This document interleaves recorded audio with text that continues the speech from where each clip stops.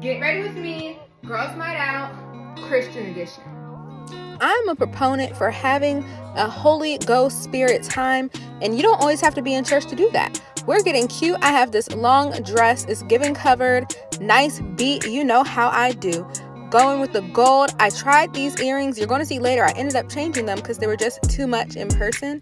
Regular wrist stuff, y'all already know. Now, this perfume, goodness gracious, so good, so bomb. This is where I changed the earrings. We're going to keep it simple.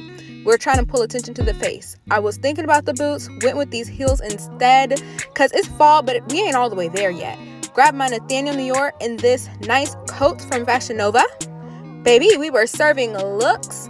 We are looking good, looking sanctified, and we about to enjoy ourselves. Bye.